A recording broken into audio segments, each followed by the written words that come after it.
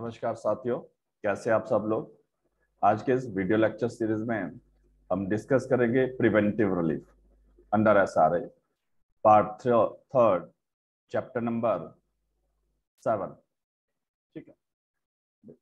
देखो preventive relief that is injunction जैसे कि आपको पता होगा इंजंक्शन दो तरह के होते हैं perpetual injunction and temporary injunction तो according to section 36 preventive how granted.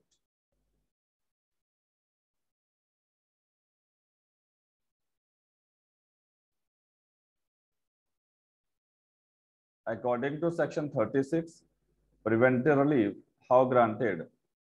Preventive relief is granted.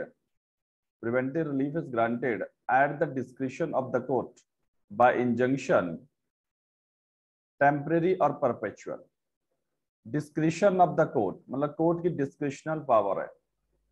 ठीक है, अगर प्राइमा फर्साई केस बनता है then court granted otherwise not injunction granted अब इंजंक्शन की बात कर रहा है तो injunction granted injunction means either temporary और परपेचुअल टेम्परेरी और परपेचुअल इंजंक्शन देखो इंजंक्शन का मतलब है injunction is to restrain under exercise of rights under exercise of rights prevention of threatened wrongs restoration of violated possession and securing a permanent enjoyment of right समझ गए मतलब कि process है judicial process है जिसकी अगर कोर्ट ऑर्डर करता है इंजंक्शन का इधर परपेचुअल और टेम्परेरी जिससे कि प्रिवेंट किया जा सकता है किसी थ्रेटन को, जो रॉन्ग थ्रेटन है according to law and restore किया जा सकता है किसी पोजेशन को, अगर किसी ने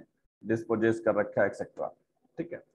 तो दो तरह के इंजंक्शन टेम्परेरी और परपेचुअल एंड नेक्स्ट जो 37 सेक्शन है temporary and perpetual injunction temporary injunction are such as are to continue until a specific time and until the further order of the court and they may be granted at any stage of the suit and are regulated by CPC. So this is clear from the section 37, a temporary injunction regulated by CPC under order 39 of CPC. Temporary injunction का relief अगर आप लेना चाहते हो तो उसकी जो application लगेगी वो order 39 rule one and two of CPC में आप फ़ाइल करोगे, ठीक है? And temporary injection means word से पता लग रहा है कि टेम्परेरी पीरियड के लिए टेम्परेरी पीरियड के लिए टेम्परेरी इंजेक्शन मतलब ऑर्डर पास करेगा court it's not decree it's order temporary injunction are such as are to continue until specified time ठीक है? और until further order of the court granted तो देन जो temporary injunction है एक तरह का इंट्रिम ऑर्डर होगा इंट्रिम रिलीफ होगा टू द प्लेंटिव ठीक है? एंड uh, uh, किसी भी सूट में लेकिन कभी भी टेम्परेरी इंजंक्शन की आप मेयर टेम्परेरी इंजंक्शन की एप्लीकेशन नहीं फ़ाइल करोगे आप सूट के साथ टेम्परेरी इंजंक्शन की एप्लीकेशन फ़ाइल करोगे ठीक है? In that case second perpetual injunction can be only be granted by the decree. तो डिफरेंस भी आपको पता लग रहा है कि टेम्परेरी इंजंक्शन टेम्परेरी पीरियड के लिए इंटरम पीरियड के लिए और जो perpetual injunction perpetual means permanent permanently restrain किया गया किसी पर्सन को decree made at the hearing and upon the merit of the suit the defendant is thereby perpetually enjoyed from the uh, assertion of a right or from the commission of the act which would be contrary to the right of the plaintiff. So, according to section 37 clause 2, 37 clause 2 जो आपका perpetual injunction है permanent injunction है एक तो वो final order final मतलब decree pass होगा कोई इंटरम नहीं होगा मेरिट uh, पेश होना जाएगा मेरिट ऑफ़ द सूट और that is final relief by the decree and also moreover temporary junction पे रेस्टिकेटा ऑर्डर जो ऑर्डर होता है res judicata not apply because ये सर्कमस्टांसेस चेंजेस वाला सर्कमस्टांसेस है। तो इंटरिम ऑर्डर है जिसमें चेंजेस सर्कमस्टांसेस में res judicata not applicable but final जो रिलीफ होता है पर परपेचुअल इंजंक्शन जो डिग्री पास होती है देन देन रेस्ट एप्लीकेबल है। The next is perpetual injunction तो टेम्परेरी इंजंक्शन हम डिस्कस करेंगे सीपीसी में, जब सीपीसी के लेक्चर स्टार्ट हो जाएँगे। that now perpetual injunction that is given under section 38 of SRA permanent prohibitory injunction का सूट आपका एसआरए के अंदर और टेम्परेरी इंजंक्शन के application CPC order 39 subject to the other provision contained in or referred to by this chapter the perpetual injunction may be granted to the plaintiff to prevent the breach of an obligation existing in his favor whether expressly or by implication. ठीक है? देखो perpetual injunction कब grant होता है? जब किसी की obligation है किसी पर्सन के फेवर में और वो उसको फुलफिल नहीं कर तो उसको रिस्ट्रेन किया जा सकता है। तो दैट्स वाई यहाँ पे परपेचुअली परमानेंटली उसको रिस्ट्रेन कर सकता है कोर्ट मे बी ग्रांटेड मतलब आपका discussion power of the court देखो this is negative injunction this is called negative injunction negative injunction क्यों? क्योंकि आपको रिस्ट्रेन किया जा रहा है। आप कोई एक्ट कर रहे हो, आपको उस एक्ट के लिए मना कर रहे हैं कि आप ये एक्ट मत करो। कोर्ट के ऑर्डर ऑर्डर कर रहा है कि आप आज के बाद ये एक्ट नहीं करोगे। तो मतलब लीगल ऑब्लिगेशन होनी चाहिए पर्सन की। अगर लीगल ओबलाइज है टू डू दैट एक्ट और वो नहीं ठीक है देन ओनली ठीक है इन दैट केस आपको प्रोपेचुअल इंजंक्शन ग्रांट कर सकता है। जो सेकंड है आपका, ये आपका section ten S R A के साथ आपको रेड विद करना है। ये कॉन्ट्रैक्ट से रिलेटेड है। When any such obligation arises from contract the court shall be guided by the rules and provision contain in chapter two specific performance of the contract chapter two में हमने already discuss कर दिया previous lecture में।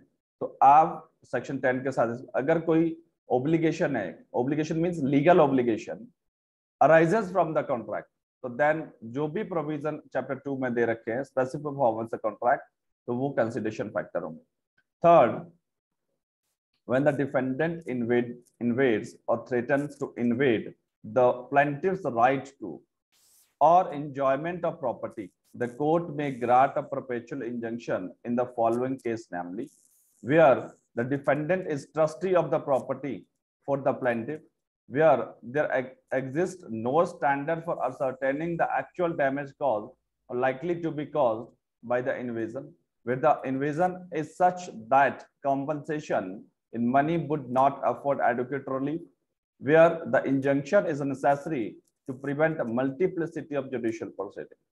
तो दोस्तों याद रखना यहाँ से एमसीक्यूज बन जाता है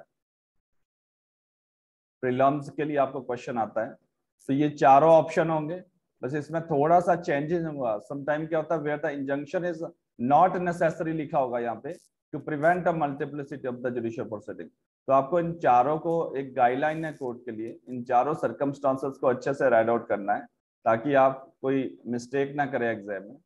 ठीक है? और जो हमारे चैनल पे नए हैं, वो प्लीज़ चैनल को सब्सक्राइब कर दीजिएगा। और जिन्होंने ऑलरेडी सब्सक्राइब कर रखा है तो वो शेयर और लाइक ज़रूर कीजिएगा।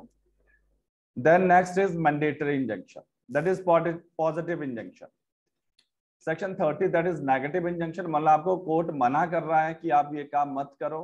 पॉजिटिव इंजंक्शन कि आप ये काम करो। ठीक है? आप ये काम करो। अब इसका जो डिफरेंस है वो मैं बताता हूँ। This is positive injunction when to prevent the breach of an obligation it is necessary to compel the performance of certain act.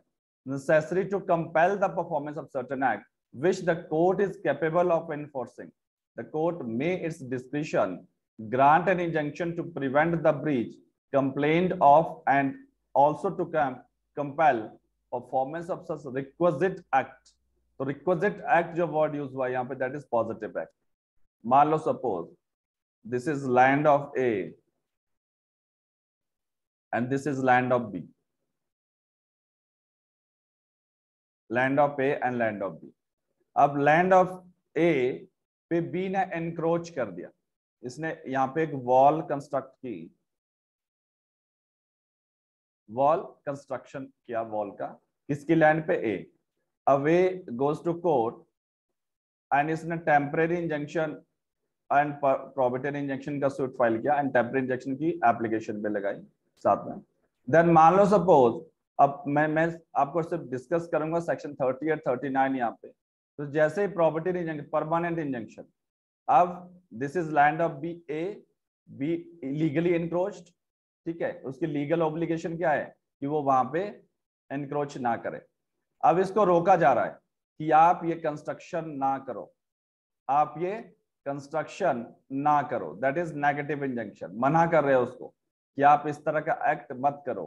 तो दैट इज़ सेक्शन 38 मैंडेटरी कि आपने जो कंस्ट्रक्ट कर रखी है दीवार, जो वॉल उसको हटाओ, उसको डिस्ट्रॉय करो। यहाँ कुछ एक्ट करने के लिए बोला जा रहा है। ध्यान से समझना सेक्शन 38 में उसको मना किया जा रहा है कि आप यहाँ पे कभी भी कंस्ट्रक्ट नहीं करोगे। दैट इज़ नेगेटिव इंजंक्शन और जो ऑलरेडी कंस्ट्रक्ट कर रखा है, आप उसको डिस्ट्रॉय करो। आपको मतलब कुछ एक्ट करने के लिए बोला जा रहा है। आप डिस्ट्रॉय करो सेक्शन 39 के अंदर। देन क्लियर ये पॉजिटिव इंजेक्शन है 38 में नेगेटिव इंजेक्शन है। Then section 40 damage in lieu और लियन ऑफ़ और in addition to the injection injection के साथ साथ डैमेज भी क्लेम कर सकते हैं। The plaintiff in a suit for perpetual injection under section 38 और mandatory mandatory injection under section 39 may claim damages either in addition to or substitution for such injunction. And the court may, if think fit award such damages. देखो court dam आप damage claim कर सकते हो अपनी plaint में। जब आप plaint बनाओगे परपेचुअल इंजेक्शन के साथ डैमेज भी क्लेम कर सकते हो। एडिशन में या फिर कोर्ट इन सब्सटीट्यूशन आपको इंजंक्शन की जगह डैमेजेस दे सकता है ग्रांट कर सकता है। वो depend upon the fact and circumstances of the case no relief for damages shall be granted under this section until plaintiff has claim such relief in the plaint देखो court अपने आप से ग्रांट नहीं करेगा, आपको क्लेम करना पड़ेगा plaint में प्लीडिंग में आपको प्रेयर करना पड़ेगा from the court provided that we are no such damage has been claimed in the plaint the court shall at any stage of the proceeding allow the plaintiff to amend the plaint on such term as may be just for including such claim तो अब order six rule seventeen अगर आपने मान लो suppose original जब आपने plaint file किया उस टाइम क्लेम नहीं किया but later on you can claim by way of amendment of the pleading, by way of amendment of the plan, uh, uh, as per provision of Order 6, Rule 17, CPC. Clear? Next, the dismissal of suit to prevent the breach of obligation existing in favor of plaintiff shall bar his right to sue for damages for breach. देखो यहाँ पे एक बार है आपका। Bar means अगर आपका injunction का suit dismiss हो गया तो you can not claim damages फिर उस उस सेम कॉज ऑफ़ एक्शन के लिए आप डैमेजेस क्लेम नहीं कर सकते हैं अगर आपका सूट डिसमिस हो जाता है इंजंक्शन का। Then next is injunction when refused injunction can not be granted तो यहाँ की कुछ सर्कमस्टांस लिस्ट दे रखी है कि इन इन सर्कमस्टांसेस में injunction can not be granted तो दोस्तों, आपको ये लिस्ट याद करनी है, ठीक है? क्योंकि यहाँ से काफ़ी क्वेश्चन रहते हैं प्रिलम्स में। एमसीक्यूज आपको आता है समटाइम मेंस में भी क्वेश्चन पूछ लेते हैं। Number one to restrain any person from prosecuting judicial proceeding pending at the institution of the suit in which the injunction is sought unless such restraint is necessary to prevent a multiplicity of the proceeding. तो आप किसी को restrain नहीं कर सकते। अगर किसी का राइट right है प्रोसिक्यूट करने का केस फ़ाइल करने का तो आप उसको रिस्ट्रेन नहीं कर सकते by way of injunction but unless यहाँ पे such restrain is necessary to prevent yes already मान लो कोई सूट फ़ाइल कर रखा है और वो सेकंड सूट फ़ाइल कर रहा है या सेकंड जुडिशियल प्रोसीडिंग इनिशिएट कर रहा है तो वहाँ पे avoid to multiplicity of proceeding वहाँ पे कर सकते हैं एक्सेप्शनल केसेस में। अदरवाइज़ आप किसी को रिस्ट्रेन नहीं कर सकते हैं टू गो टू प्रोसिक्यूट और टू कोई भी जुडिशियल प्रोसीडिंग इनिशिएट करने से। B to restrain any person from institution instituting और prosecuting any proceeding in a court not subordinate to that from which the injunction is sought ठीक है c to restrain any person from applying to any legislative body तो election के लिए apply कर रहा है तो आप उसको रिस्ट्रेन नहीं कर सकते to restrain any person from instituting or prosecuting any proceeding in a criminal matter तो सिविल और क्रिमिनल दोनों डिफरेंट है आप उसको रिस्ट्रेन नहीं कर सकते to prevent the breach of contract the performance of which would not be specifically enforced injunction grant नहीं होगा to prevent the breach of contract the specific uh, performance of which would not be specific जिसको specific performance नहीं कर सकते आप to prevent on the ground of nuisance an act which is not reasonably clear that it will be a nuisance जहाँ पे clear पता नहीं कि न्यूसेंस है कि नहीं है वहाँ भी इंजंक्शन ग्रांट नहीं होगा to prevent the continue breach in which the plaintiff has acquiesced मतलब जहाँ पे कंटिन्यू ब्रीच और प्लेंटिव ने एक्वाइंस्ड कर दिया है तो एक्वायर कर दिया in that case you can not claim injunction and uh, injunction cannot be granted when equally efficacious relief can can certainly certainly be obtained by any other usual mode of proceeding except in case breach of trust मतलब उसके बराबर का आपको कोई और relief मिल गया है तो you can injunction can not be granted if it would impede or delay the progress or complication of any infrastructure project or interfere interfere with the continued provision of relevant facility related thereto और services being the subject matter of such project देखो ये amendment हुआ 2018 में। ठीक है? Infrastructure के regarding तो अब वहाँ पे injunction can not be granted already भी हमने प्रीवियस लेक्चर में डिस्कस कर रखा है when the conduct of the plaintiff और his agent has been such और disentitle him to be assistance of the court मतलब अगर कंडक्ट प्लेंटिफ वगैरह का ऐसा हो या उसके जो भी एजेंट है when the plaintiff has no personal interest in the matter जब सब्जेक्ट मैटर उसका पर्सनल मैटर ही नहीं है तो मतलब can not be granted injunction then 42 injunction to perform negative agreement तो देखो सेक्शन 42 आपका क्या बोलता है नेगेटिव नेगेटिव इंजंक्शन क्या नेगेटिव इंजंक्शन भी ग्रांट हो सकता है yes notwithstanding anything contained in clause E of section 41 where a contract co comprise an affirmative agreement to do to a certain act coupled with a negative agreement expressed or implied not to do a certain act the circumstances that the court is unable to compel specific performance of the affirmative agreement shall not preclude it from granting an injunction to perform the neg negative agreement, provided that the plaintiff has not failed to perform the contract for is binding on it.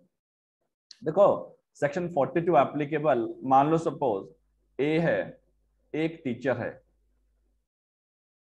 Teacher हमारे institute में tutoring का काम करेंगे teaching का काम करेंगे, ठीक है?